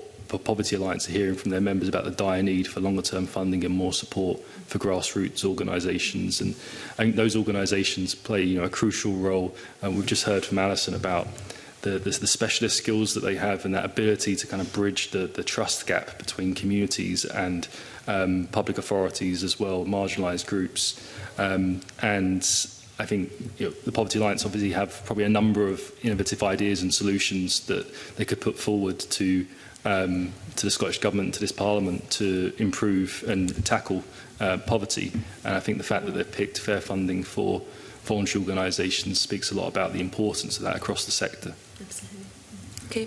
Thanks very much. I'm now going to invite Jeremy back in. Thank you. Thank you, Camina. Um, at the previous committee meeting, the committee heard but in addition to reducing child poverty, there are other groups of people suffering from poverty, young single people, older people, who also need further support. Would you firstly agree with us, uh, probably fairly straightforward, and how can the Scottish Government seek to take this into account in its budget decisions? Alison, I don't know if you want to go first just to change your mind. yeah, it's it's very difficult. I would go back to consistent funding. It doesn't have to be more funding necessarily, although more funding would be good, but consistent funding. So there's a framework of statutory funding to build other funding and income around. Um, I would say focus on the under fives. From our experience, that's where the risk is. That's where the change can be made. Focus on, I say, focus on the under fives. Um, and I would also say have a really well-informed equalities impact assessment for everything. And that means stepping back, for example, and say,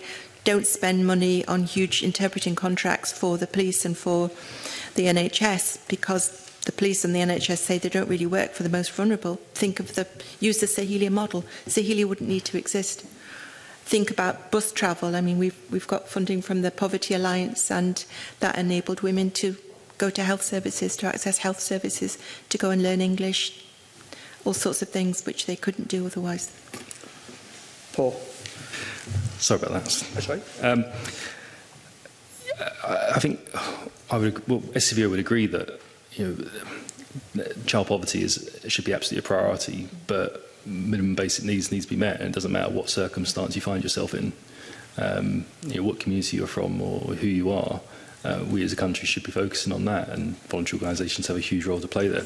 I guess what I would say is that addressing poverty is, and we just heard in the last session, you know, a really good example. You know, addressing poverty is about putting more money into to people's pockets, but there's also the exclusion aspect around this, and the, you know, the role that the voluntary sector plays ensuring that people feel connected in their communities um, is is vital. Whether that's village halls, museums, um, uh, you know, groups, and uh, you know, listening to the Culture Committee the other day um, and, and hearing from voluntary organisations in that part of the sector about you know, really bleak challenges that are ahead of them. And one example they use is around charging for entry to these different venues.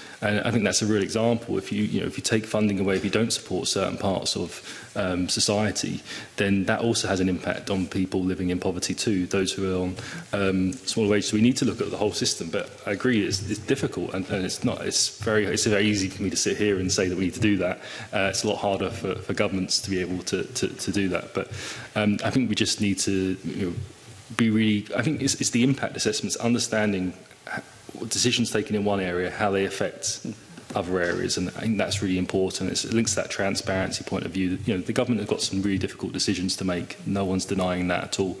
Um, and you know, more transparency around how those decisions are made um, makes things easier. Yes, we might not like it, but um, we can better understand how those decisions are made and, and why they've been taken at this point in time.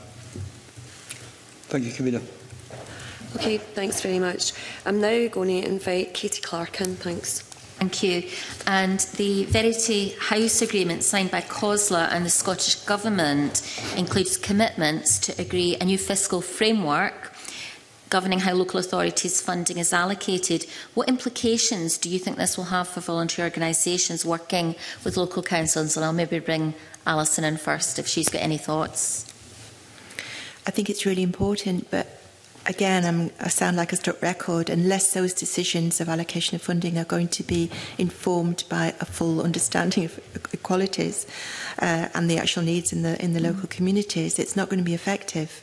I mean, yes, it's laudable, but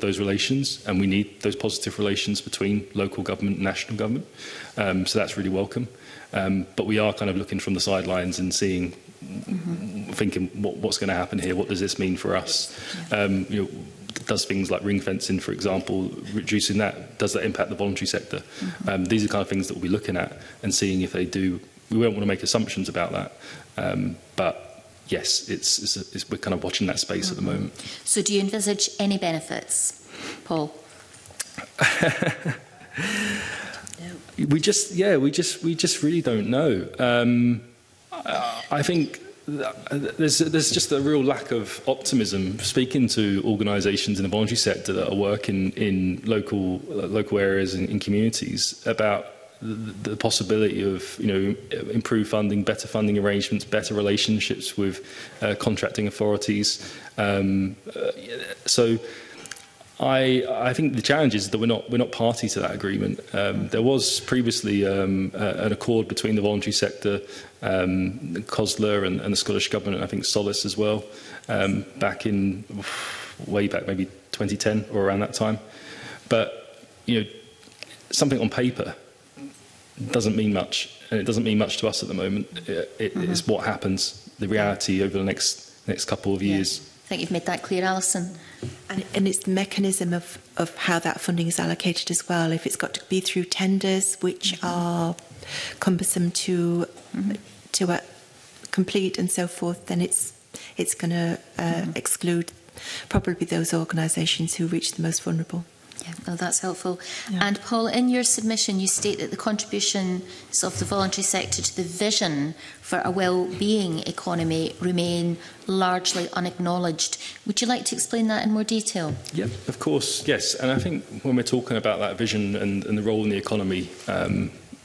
yes, we're, we're talking about the Scottish government and, uh, and others, but this is, this is, it goes beyond that. And it goes beyond SCBO saying this. I think it was the, the former chief um, economist to um, the, the Bank of England that said UK-wide actually estimated value benefits of, of, the, of the charity sector, voluntary sector, is around 200 billion. But in national accounts, it's about 20 billion. So huge difference there. You know, it's a real challenge to kind of look at the value, monetize things like volunteering. I think Volunteer Scotland have done that and have, and have said that I think formal volunteering, about 1.2 million volunteers, equates to about 2.8 um, billion to the economy.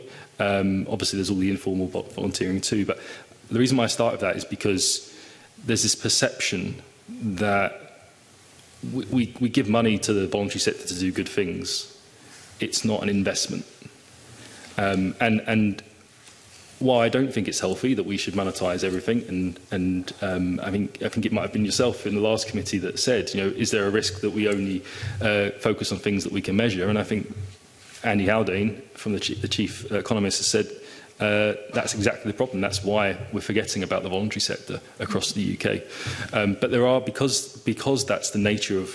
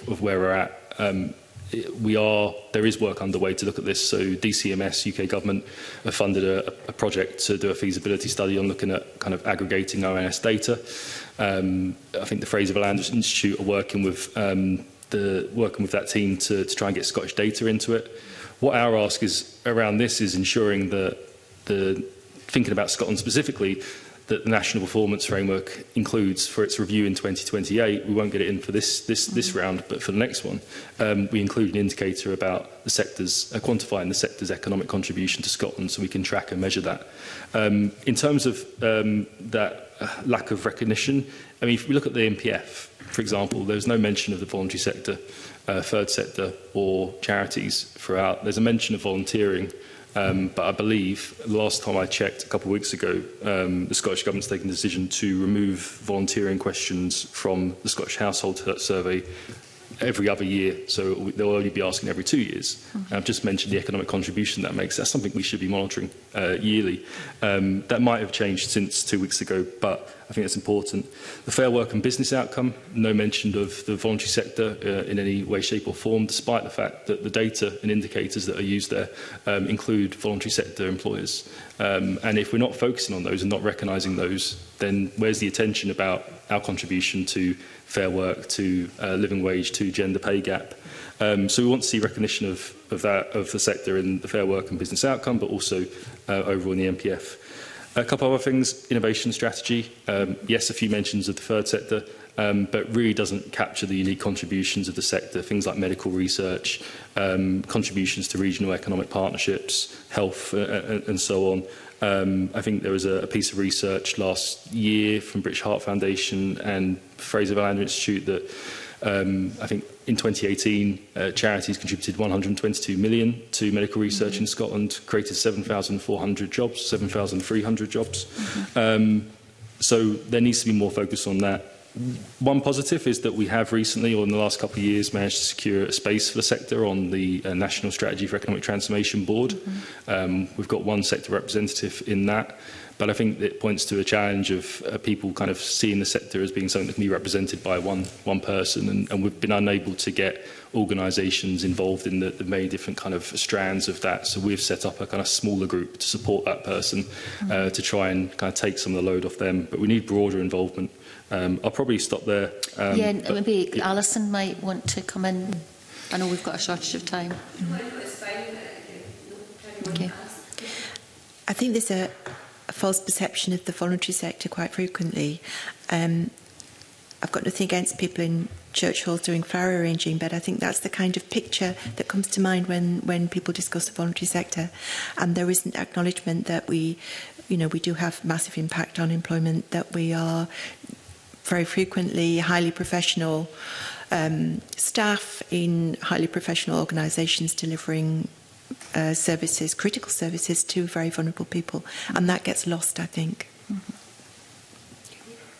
Thank you.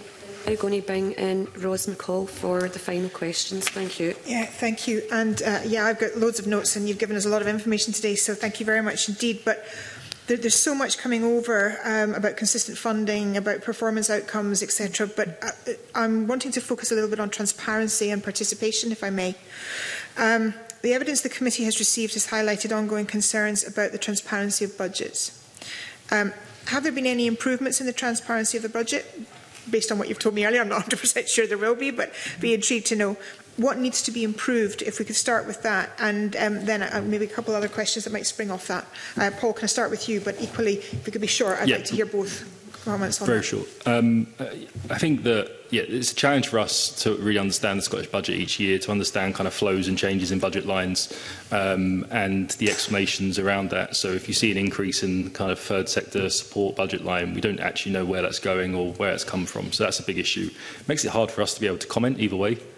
whether it's positive or negative. So if it is a positive thing, very hard for us to, to, to stand out and say that. Um, so that's that's really important. Um, I think there's an issue around lack of transparency around funding to the to the sector. So S SCVO, we we've got an online uh, system that um, on Power BI that shows the kind of level of funding to the sector. We we go through charity accounts and we publish all of that. Um, but the Scottish government doesn't have that kind of central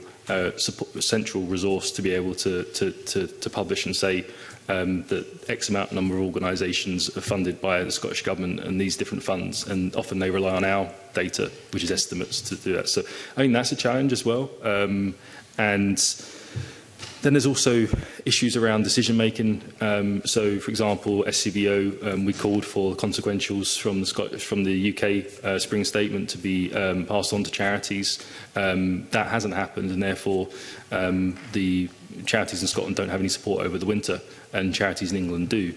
Um, now, that's a concern to us, but we understand that it's a devolved, um, a devolved um, you know, competence in which the Scottish Government has the right to choose there, but the transparency around how consequentials are spent um, would really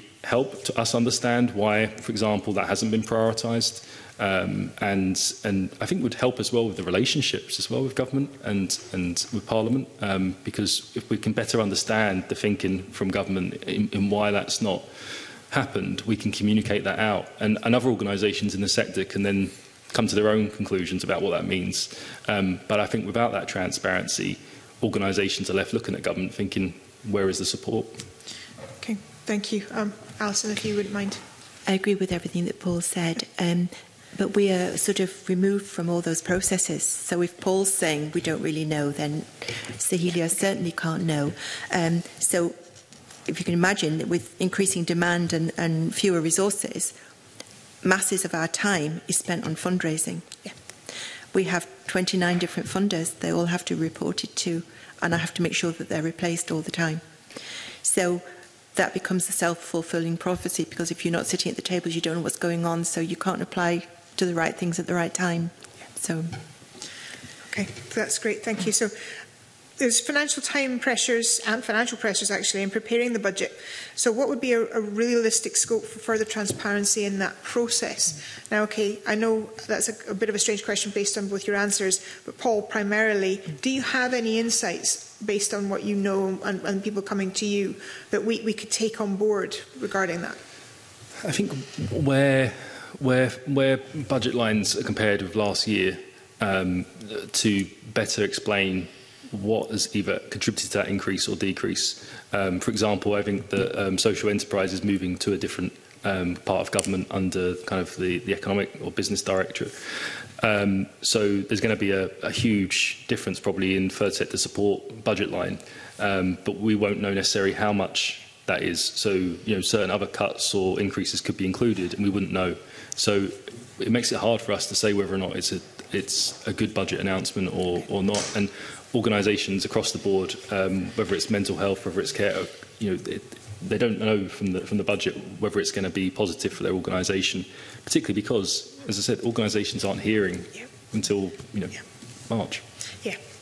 absolutely. Thank you.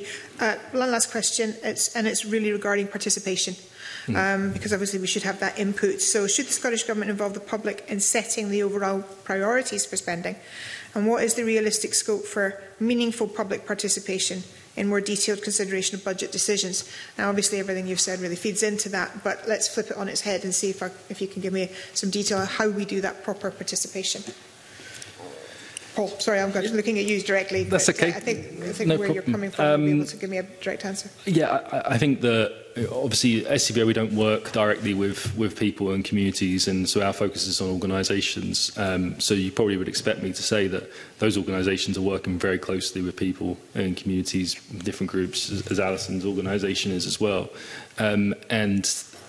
I think there's there's that risk if you don't have that infrastructure in place, you don't have those trusted networks um, to be able to understand what the challenges are.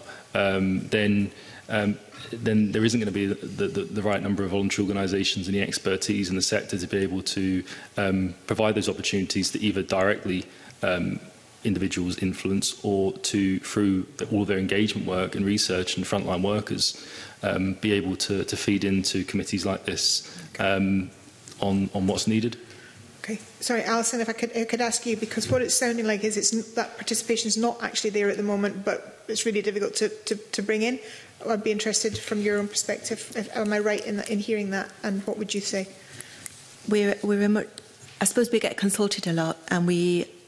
where possible, we provide responses to consultations, but we don't get much feedback from that. Okay.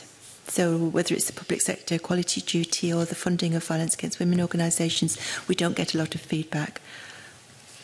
And we, we have from the, the cabinet secretary who's who's just left um, because they did um, a lot of consultation with us through Poverty Alliance, with whom we work very closely.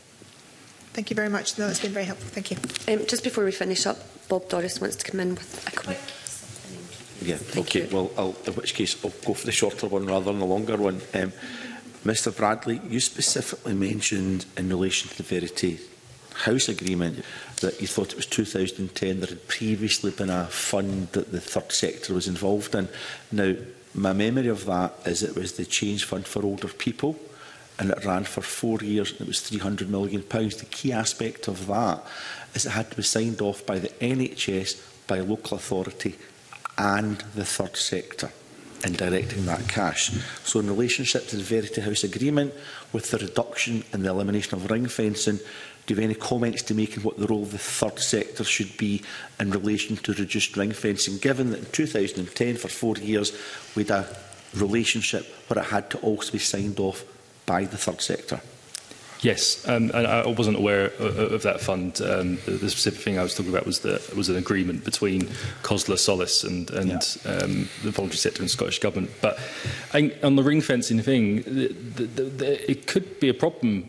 for the voluntary sector. It, it really depends on the development of public service reform. If we carry on delivering services like we currently do, um, then that's an issue. But if we if we focus on outcomes and impact and, and the services that are going to deliver the most there, then I think there's a lot of opportunity for the voluntary sector because they they do have significant impact mm. and outcomes. So.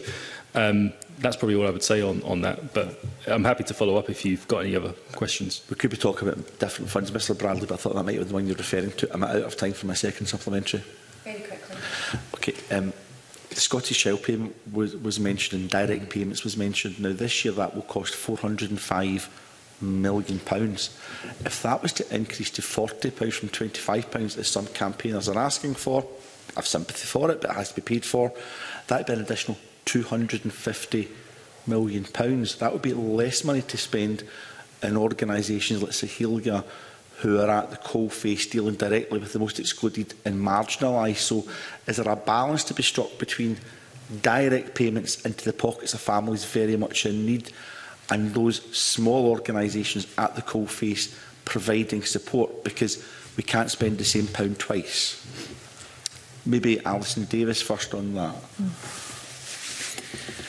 Yes, I can see that there's a balancing act there. Um, if mainstream services are fully informed, um, then there would be more direct payments going to our service users, and Sahili wouldn't need to exist if, if we had a more uh, adequately informed equality impact assessment and then resulting mainstream service delivery,